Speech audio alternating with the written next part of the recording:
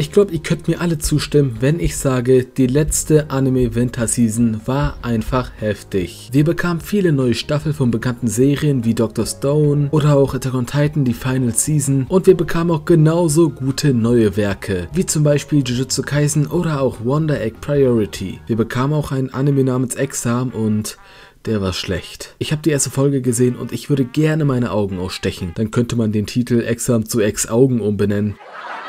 Oh mein Gott, sorry Leute, der, der, Witz war schlecht. Es tut mir so leid, ihr könnt gerne meinen Kanal deabonnieren. Ah. Wo waren wir stehen geblieben? Genau, die Winterseason war krass, aber die jetzige Frühlingsseason ist mindestens genauso großartig. Ich meine, wir haben eine Academia Staffel 5, was will man mehr? Und natürlich gibt es noch viele weitere exzellente Anime, aber heute stelle ich euch meine Top 5 aktuellen Anime vor. Viel Spaß!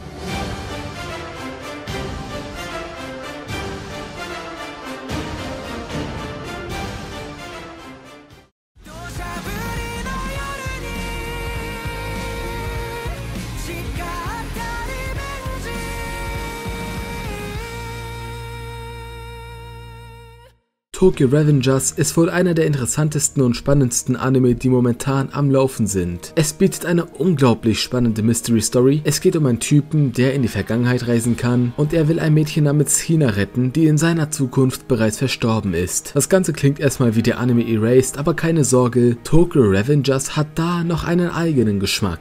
Der Anime ist halt viel mit Gangzeugs und Fighting verbunden und er macht unglaublich Bock. Die Character Designs sind einfach fucking cool cool und passt zum ganzen Stil. Ich liebe diesen Style, ich liebe diese Kämpfe, ich liebe diese Stimmung, aber auch emotional hat der Anime echt was drauf. Und es macht Spaß, die Entwicklung unseres Hauptcharakters zu sehen, während seiner Reise durch die Zeit, während seiner Zeitreise. Gut, okay, am Anfang der Serie kriegt der Hauptcharakter Takemichi ordentlich auf die Fresse, aber man merkt trotzdem, dass die Zeitreisen mit ihm was anstellen. Takemichi ist nämlich ein 26 Jahre alter Mann, der nicht viel in seinem Leben erreicht hat. Er lebt in einer dreckigen Wohnung, hat einen schlechten Job und Takemichi, wir wissen, was diese beiden Sachen zu bedeuten haben. Durch die Zeitreisen erweist sich für ihn aber auch endlich seine Chance, sich zu ändern. Ich bin gespannt, in was für eine Richtung sein Charakter und allgemein der Anime gehen wird und ich bin mir sicher, es wird definitiv einer der besten Anime 2021.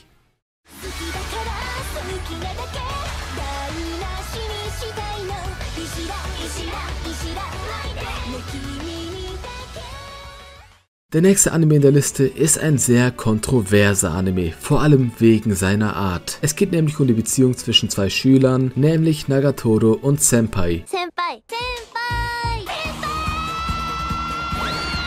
Ja, der Typ wird gefühlt nur Senpai genannt. Aber es ist keine süße Händchenhalten-Beziehung, sondern ein sehr verrückter Romance-Anime. Senpai ist nämlich ein sehr introvertierter Charakter. Er kommt halt mit anderen Menschen nicht gut klar und ist eher für sich allein. Allerdings ist er aber ein echt guter Zeichner und Miss Nagatoro nimmt ihren armen Senpai komplett auf den Arm. Sie macht ihn halt zu jeder Zeit immer fertig, aber das auf eine sehr unschöne Art und Weise. Sie geht einfach viel zu weit und genau das und die Art, wie sie das anstellt, ist das Kontroverse. Das, was sie tut, wirkt einfach komplett erniedrigend, aber trotzdem ist es ein ziemlich unterhaltsamer und lustiger Anime, der einfach Spaß macht zu schauen. Don't Toy With Me, Miss Nagatoro, der Titel ist einfach viel zu lang, ist zurzeit auch einer der meistgehyptesten Anime. Ich meine, gefühlt die halbe Welt hat sich in diesen Anime verliebt und ich ebenfalls. Er ist einfach viel zu funny, hat viele komische Momente und oh mein Gott, warum sieht dieser weirde Anime so gut aus? Die Farben, die Animation, es, es, es sieht einfach zu gut aus. Und keine Sorge, das was Nagatoro mit ihrem Senpai anstellt, ist nie so schlimm wie in der ersten Folge. Es ist aber auch interessant zu sehen, auf was für eine Weise die beiden sich näher kommen. Schaut euch den Anime auf jeden Fall an, wenn ihr auf verrückte Romance-Comedy steht. Ach übrigens, kleiner Funfact nebenbei, der Synchronsprecher von Senpai ist derselbe Sprecher wie von Izuku, was ich ziemlich genial finde. Die beiden heulen in ihren Serien einfach ständig rum und lassen gefühlt in jeder Folge mehr Wasser fließen als ich, wenn ich mir wieder Jiraias Tod anschaue.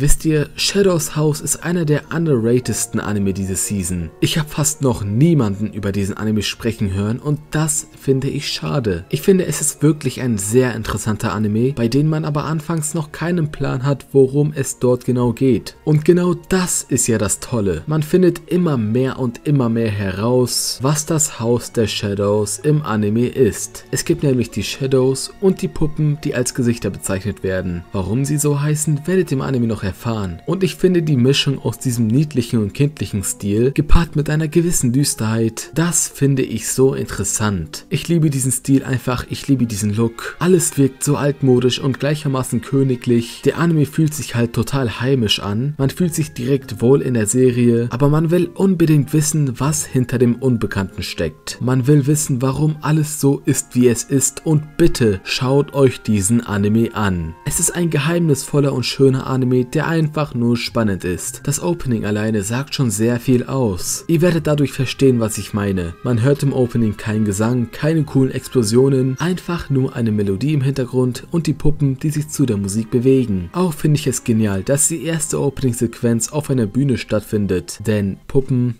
Theater, Puppentheater. Und das ganze Opening hat auch einen gewissen Touch von Another, also dem Anime. Außerdem solltet ihr wissen, dass The Promised Neverland sich für diesen Anime geopfert hat. Ja, Shadows House stammt von Cloverworks und Cloverworks, ich bitte euch, macht mit Shadows House nicht das, was ihr mit The Promised Neverland Staffel 2 gemacht habt. Ich bitte euch, Cloverworks, ihr seid gut darin, eine düstere Atmosphäre aufzubauen. Bitte liefert mir eine richtig gute Puppenshow.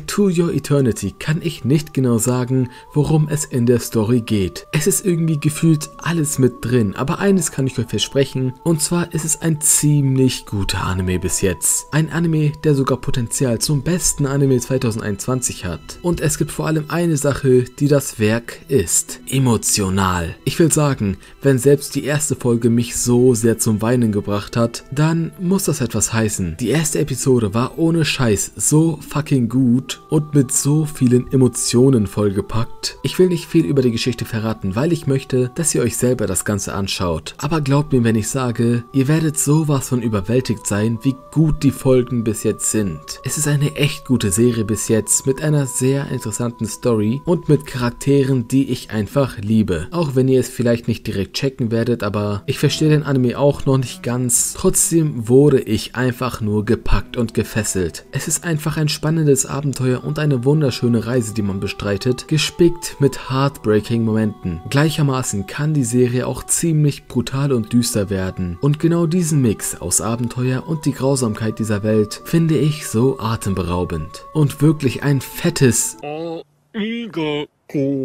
an euch, wenn ihr euch diesen Anime gibt.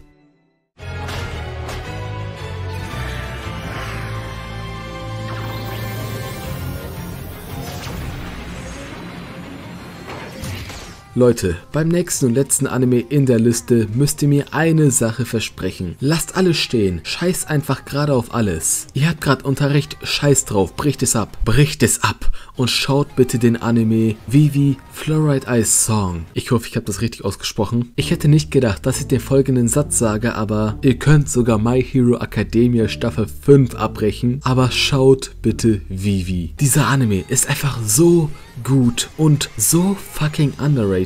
Ich kann mir einfach nicht erklären und kann es nicht verstehen, warum fast noch keiner von diesem Anime weiß. Obwohl, eigentlich kann ich es mir schon erklären. Viele denken nämlich, es handelt sich hier ausschließlich um einen Idol-Anime und entspricht somit nicht ihrem Genre. Aber keine Sorge, der Idol-Teil ist im Anime eher eine Nebensache, denn es ist größtenteils eine mega geile Action- und Science-Fiction-Serie. Und wartet Leute, schaltet bitte nicht ab. Ich weiß, dass Science-Fiction viele vielleicht abschreckt, weil Science-Fiction, oh Gott, ein Anime, der bestimmt wieder übelst kompliziert wird und bei dem man sein Gehirn anstrengen muss. Aber bitte bitte gebt dem Anime eine Chance. Er ist so unglaublich gut und so stark und das ist kein Wunder, denn der Anime stammt von dem Autor von ReZero. Das ist der erste Grund, warum man den Anime schauen sollte. Und zweitens, Witch Studio ist wieder back.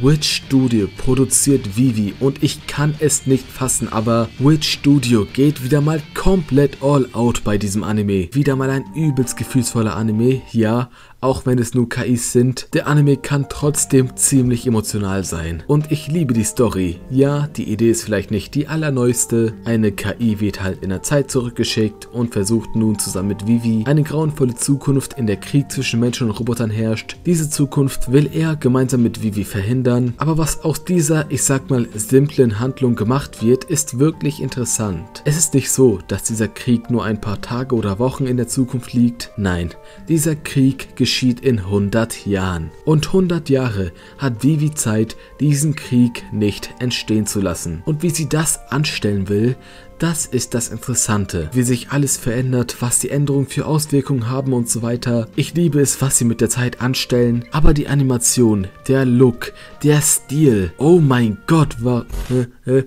Meine Nase, ich hasse mich selber. Ich sollte...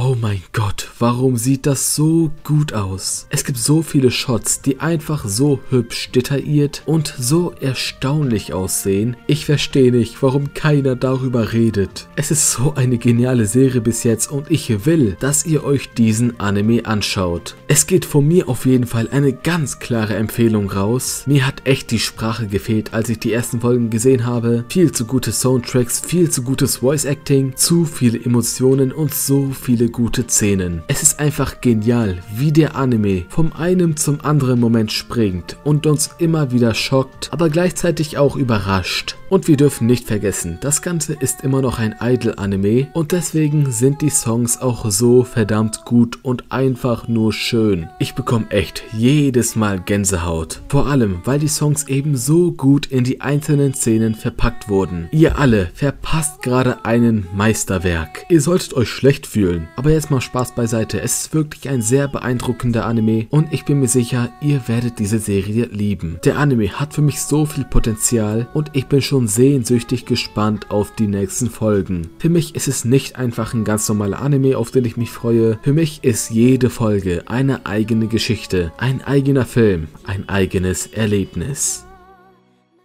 Uh, Leute, das war's dann eben mit meinem Top 5 Anime diese Season. Aber bevor ihr jetzt abschaltet, erstmal eine kleine Ankündigung. Ich plane nämlich wieder ein neues Fragen- und Antworten-Video und deswegen könnt ihr mir wieder Fragen stellen unter diesem Video. Ich hoffe aber, diese Anime-Empfehlungen sind hilfreich für euch. Wir sehen uns dann beim nächsten Mal. Vergesst nicht, eine Frage in den Kommentaren zu stellen. Ihr könnt auch einfach irgendwas schreiben. Das würde mich immer wieder freuen. Und wir sehen uns dann beim nächsten Mal. Ciao.